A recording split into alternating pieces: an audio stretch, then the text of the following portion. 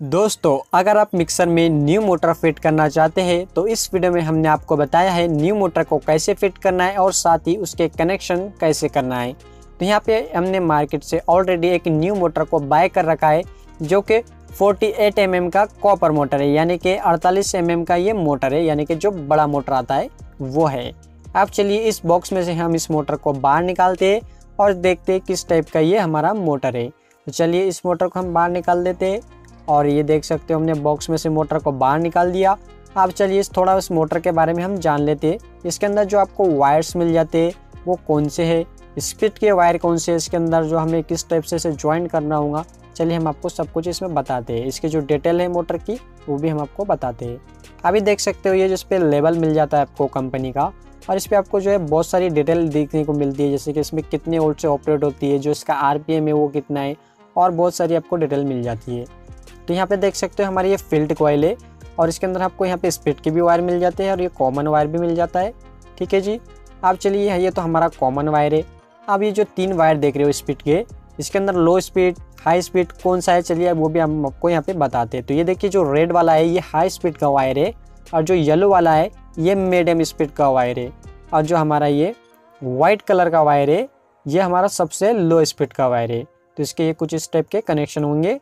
अब चलिए इसको हम जो है साइड रख देते और ये हमारा है मिक्सर जिसके अंदर हमारा ये पुराना ओल्ड वाला मोटर लगा हुआ है जो कि ख़राब हो चुका है। इससे पहले तो आपको ओपन करना होगा। ओपन करने के बाद में आपको देखिए यहाँ पे एक मोटर मिल जाता है।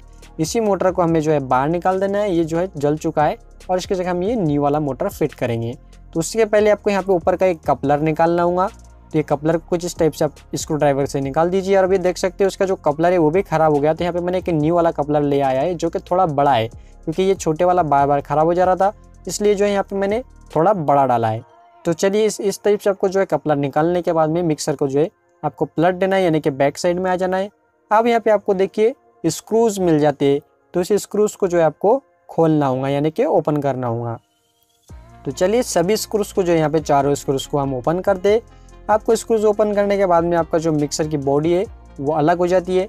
आपको जो ऊपर वाला, ये वाला जो कैप है, इसे जो है अलग कर देना है। इसमें से जो हमारा मोटर है, वो बाहर निकल जाएगा। अब इस मोटर को जो हमें अभी कोई काम नहीं है इसका। ये भंगार में डालना है हमें, ये ख़राब हो चुकी है, ठीक है जी? आप देखिए, इसके अंदर हमको ये रबर की पैकिंग मिल जाती है। तो ये भी ख़राब हो गई, हमें ये न्यू डालना होगा। और साथ ही यहाँ पे आपके इसके जो है रबर के आपको सस्पेंशन मिल जाएँगे, ठीक है? ये मोटर को थोड़ा वेट जो आता है, उसका मतलब इन्हें सस्पेंशन भी आप बोल सकते हो उसे। तो आपको ये रबर के इस तरह के ये बूट इसमें डाल देने जो भी आप इसको बोलते हैं, ठीक है? हमारे यहाँ तो इसे बूट ही बोलते हैं। ठीक है जी, आप देखिए आपको मोटर लेना होगा। और इस मोटर को देखिए, इस टाइप से हमें जो है मिक्सर की बॉडी में डाल देना है। अब इसके आपको जो है चारों साइड मिल जाती है। इससे हमारा जो मोटर है, वो प्रॉपर ठीक तरीके से बैठ भी जाता है। और उसको थोड़ा सस्पेंशन भी मिल जाता है, यानी कि थोड़ा फिटिंग अच्छे से आ जाती है इसकी। तो देखिए, हमने मोटर कुछ इस टाइप से इस पर जो है, रबर पे बिठा दिया है। आप देख सकते हो प्रॉपर हमारा मोटर बैठ चुका है। आप देखिए, इसके ऊपर एक रबर रिंग आती है ऊपर। ये जो है, इसे फिटिंग वगैरह देती है, यानी कि मोटर हमारा जो है, वो हिलेगा नहीं अंदर। तो यहाँ पे हम इस तरीके से इसे जो है, रख देते हैं। अब इसके ऊपर का जो यहाँ पे कवर है, या फिर कैप है तो हम इसे जो है, लगा देते हैं। अब हमें क्या करना है मिक्सर को जो है प्लट देना है। यानी कि इसके जो पीछे से नट को, यानी कि स्क्रूज को हमें लगाना होगा। तो देखिए, कुछ इस टाइप से आपको मिक्सर को पलटा देना है। अब यहाँ पे आपको लेना होगा कुछ स्क्रूज अब इस स्क्रूज को देखिए हमें चार होल मिल जाते हैं, यानी कि हमारे टोटल चार स्क्रूज है। तो एक एक अब जो है होल में डाल के इसे जो है, अच्छी तरीके से जो है टाइट करिए। देखिए मैं यहाँ पे थोड़ा सा इस तरीके से आपको बता रहा हूँ। आप जो है अच्छी तरीके से इसे जो है टाइट कर दीजिए। तो चलिए हमारा ये तो दूसरे वाला नट है। फिर हमने ये तीसरे वाला लगा दिया है यहाँ पे। और ये लास्ट में हमारा चौथे वाला। तो इस तरीके से हमने जो है इसके पूरे नट्स को लगा दिया है। अब देखिए इसके अंदर हमें जो है वायर्स मिल जाते हैं। अब ये कैसे कनेक्ट करना है वो भी हम आपको चलिए बता दें। अभी देखिए हमारा ये जो है कॉमन वायर है।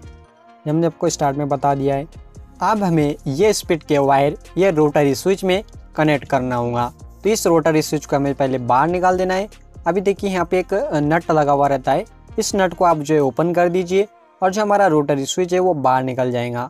आप देखिए हमारे रोटरी स्विच में हमें पीछे पाँच पॉइंट मिल जाते हैं जो कि ज़ीरो से स्टार्ट होते हैं और फोर पे ख़त्म हो जाते हैं, यानी ज़ीरो वन टू थ्री और फोर इस तरह से इसमें जो है मार्किंग होती है पीछे।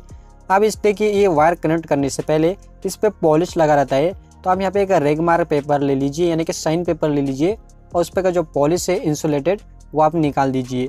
आपका जो है ये पॉलिश निकालने के बाद में देखिए इस तरीके से आपको निकाल देना है। सभी वायर्स पे जो इंसुलेटेड ठीक है जी?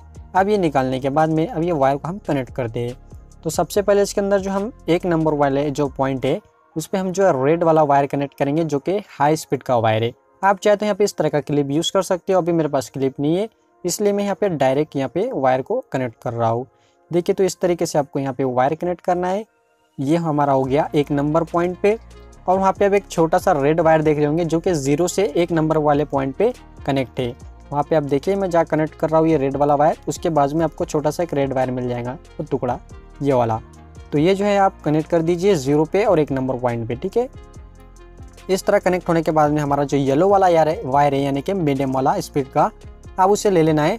और इस तरीके से देखिए, आपको जो इस सेम पेज लगा देना है और अच्छी तरीके से इसे जो है पेंचेस की मदद से प्लेयर की मदद से टाइट कर देना है। अभी आप यहाँ पे मुझे कह रहे होंगे, आप ये क्लिप का यूज़ क्यों नहीं कर रहे हो? क्योंकि मेरे पास अभी जो है क्लिप ख़त्म हो चुके हैं और कस्टमर को मुझे जल्दी देना है, इसलिए इसमें कोई प्रॉब्लम नहीं आएगा। आप इस तरह से भी कनेक्ट कर सकते हो। आप देखिए, हमें जो है इस तरह से कनेक्ट करने के बाद में हमारे दो वायर कनेक्ट हो गए स्पीड के। और ये लास्ट वाला जो है लो स्पीड का है। तो इसे भी हम चलिए कनेक्ट करते हैं। तो सेम उसी तरीके से जो है मैं इसे भी कनेक्ट कर देता हूँ और अच्छे तरीके से यहाँ पे जो है पेच लगाता हूँ। इस तरीके से देखिए दो तीन बार इसमें राउंड ले लेते हैं, क्योंकि ये सिंगल वायर है, इसमें डबल नहीं आता है। ये सबसे लो स्पीड का वायर है। और ये देखिए, हमारा जो ये वायर है, ये भी हमने अच्छे तरीके से यहाँ पे कनेक्ट कर दिया है। आप देखिए जी, यहाँ पे ये जो छोटा सा रेड वायर देख रहे हो, आपको ये ज़ीरो वाले पॉइंट पे से ज्वाइन करना है, और जो एक वाला पॉइंट है, वहाँ पे आपको ले जाके अटैच कर देना है, यानी कि ज्वाइन कर देना है। अब यहाँ पे आपको लेना होगा केबल और जो केबल का आपका जो न्यूट्रल वायर है आप जो है इसके बीच वाले पॉइंट पे लगा दीजिए जो हमारा रोटरी स्विच है। तो जो हमारा जो रोटरी स्विच के जो कनेक्शन है, वो पूरे कंप्लीट हो जाते हैं। अब हमें जैसा जैसा हमने इसे निकाला था वैसे से दोबारा से रोटरी स्विच को फिट कर देना है। इसका जो नट है, वो आपको जो है टाइट कर देना है प्लेयर की मदद से। आप देखिए हमारा स्विच का यहाँ पे काम हो जाता है। इसका जो ऊपर वाला बटन है, वो भी हम लगा देते हैं। अब हमें जो इसके कनेक्शन करने होंगे तो आपको यहाँ पे लेना होगा। जैसे यहाँ पे जो हमारा बैक वाला ये कवर रहता है, इसके पीछे लगा रहता है ओवर लोडिंग स्विच तो इसी के दो आपको पॉइंट मिल जाते हैं। तो दो पॉइंट पर से आप जो है पहले इसे किसी भी एक पॉइंट पे कनेक्ट कर दिए जो हमारा केबल का वायर है। तो मैं इस वाले पॉइंट पे कनेक्ट कर देता हूँ। आप देखिए हमारा जो ये मिक्सर की जो मोटर है, उसका एक कॉमन वायर मिल जाता है। तो उसके दूसरे पॉइंट पे आपको कनेक्ट करना है। अब यहाँ पे जो है क्लिप से कनेक्ट करिए। अभी मेरे पास क्लिप अवेलेबल नहीं है, इसलिए मैं यहाँ पे डायरेक्ट इसे कनेक्ट कर रहा हूँ। अभी इसमें देखेंगे तो मैंने यहाँ पे इंडिकेटर का कोई इसमें कनेक्ट नहीं किया है, क्योंकि इसमें इंडिकेटर का लाइट भी टूटा हुआ था और मेरे पास अवेलेबल भी नहीं था। तो मैंने कस्टमर को बोला लेके बोले, कोई बात नहीं आप डायरेक्ट भी कर सकते हो, ऐसा कोई प्रॉब्लम नहीं। इंडिकेटर आप चाहे तो यूज़ कर सकते हो यहाँ पे। डायरेक्ट आप न्यूट्रल फेस में लगा देना वायर पे, ठीक है? और इसके जो स्क्रूज है, यहाँ पे मैंने देख सकते हो, यहाँ पे पूरे टाइट कर दिया, यानी कि स्क्रू जो है पूरे लगा दिया है। अब इसके ऊपर हमें जो है कपलर लगाने की बारी आती है। तो ये रहा हमारा न्यू वाला कपलर अब इसे चलिए हम इसमें फिट करते तो इसका जो है, पहले तो आप होल को मैच कर लीजिए और इस तरह से मैच करने के बाद में प्लेयर की मदद से इस तरह से आप जो है इसे ऊपर से ठोक दोगे। तो देखिए, बहुत ही आसानी तरीके से जो हमारा कपलर वो बैठ जाएगा। अभी यहाँ पे जो हमारा मिक्सर है, वो पूरा रेडी हो गया। अभी देखिए, मैंने यहाँ पे इंडिकेटर यूज़ नहीं किया। अभी मैंने आपको बता दिया, अगर अभी यूज़ करना चाहते तो आपको जो हमारा न्यूट्रल फेस का वायर आ रहा है केबल का, उस पर आप जो है, इसके दो वायर को कनेक्ट कर देंगे। तो ये जो है इंडिकेटर भी आपका वर्क करेगा। ठीक है जी, अब चलिए इसे हमें जो है टेस्ट करते हैं। तो ये रहा मेरे पास में पिन और इसे लेके जाते हैं हम प्लग में। और यहाँ पे देख सकते हो प्लग में मैंने लगा दिया और ये जो है सीरीज़ बोर्ड है तो ये नीचे अगर करते हैं तो ये सीरीज़ में हो जाता है। और ऊपर करे तो ये हो जाएगा डायरेक्ट में अगर आपको ये बनाना है तो उस पर भी मैं आपको आगे वीडियो मिल जाएगा किस तरह बनाना है सीरीज़ और डायरेक्ट एक ही बटन पर बाद में मिल जाएगा आपको वीडियो चलिए तो देख सकते हो यहाँ पर मैंने ऑन किया है। आप देख सकते हो मिक्सर हमारा जो है सही तरीके से वर्क कर रहा है, यानी कि घूम रहा है। क्योंकि हमने इसमें न्यू मोटर डाला है इसका जो पुराने वाला मोटर था, उसकी फ़ील्ड कॉल भी चल गई थी, उसकी बुशिंग भी चली गई थी और आर्मेचर भी चले गया था, यानी कि पूरा मोटर ख़राब हो गया था। इसलिए मैंने कस्टमर को कहा कि अब इसे रिपेयर नहीं करना है, हम सीधा इसमें न्यू डाल देते हैं मोटर तो दोस्तों, इस तरीके से जो है न्यू मोटर आप चेंज कर सकते हो। अगर वीडियो पसंद आता है तो लाइक शेयर सब्सक्राइब ज़रूर कीजिए। तो मिलते हैं नेक्स्ट वीडियो में, तब तक के लिए बाय बाय